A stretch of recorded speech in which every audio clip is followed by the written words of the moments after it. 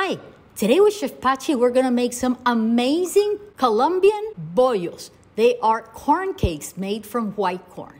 I got dry corn for these ones, so I left them overnight in water and cooked them in a pressure cooker or Instapot for 85 minutes. Then I processed all of the corn in batches, added salt, a little bit of butter, and cheese. And then I made some rolls. So I took some corn husks, put one on each side and one crossing the bottom so that they're all covered. Put them in boiling salted water for 45 minutes, and that's it. Voila, enjoy! Bollo limpio, it's delicious with our sausage that we call butifarra. Chef Pachi, enjoy!